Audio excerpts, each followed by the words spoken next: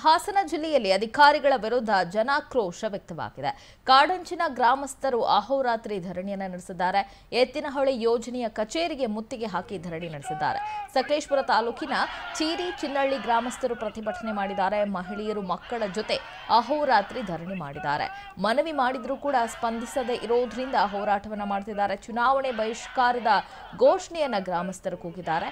ಮಲೆನಾಡು ರಕ್ಷಣಾ ಸೇನೆ ನೇತೃತ್ವದಲ್ಲಿ ಹೋರಾಟ ಮಾಡಲಾಗಿದೆ. ಐವತ್ತಕ್ಕೂ ಹೆಚ್ಚು ಮಹಿಳೆಯರ ಜೊತೆ ಅಹೋರಾತ್ರಿ ಧರಣಿಯನ್ನ ಮಾಡಲಾಗಿದೆ. ಚಳಿಯ ನಡುವೆಯೂ ಧರಣಿಯನ್ನ ಜನ ನಡೆಸಿದ್ದಾರೆ. ಇನ್ನು ಶಾಸಕ ಎಚ್ ಕೆ ಕುಮಾರಸ್ವಾಮಿ ಜಿಲ್ಲಾಧಿಕಾರಿ ಬರಬೇಕು ಅಂತ ಹೇಳಿ ಒತ್ತಾಯಿಸಿದ್ದಾರೆ.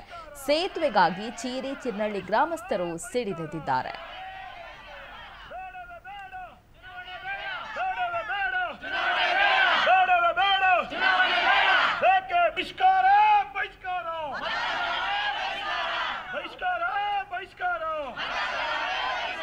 Vai, cara!